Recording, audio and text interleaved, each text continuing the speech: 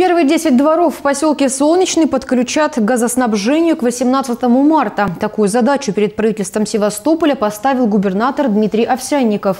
Этим вопросом уже долгое время занимается вице-губернатор Владимир Базаров.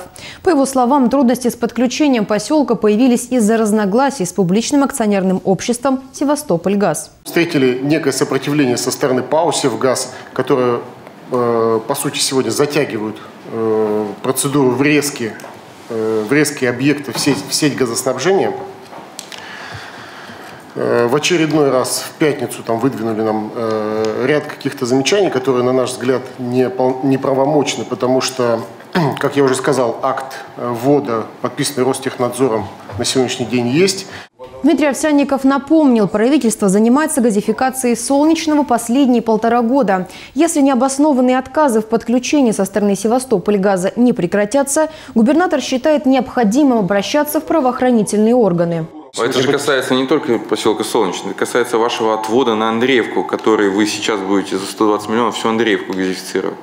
Она тоже у вас не введена в эксплуатацию. Это участок 3,9 километра.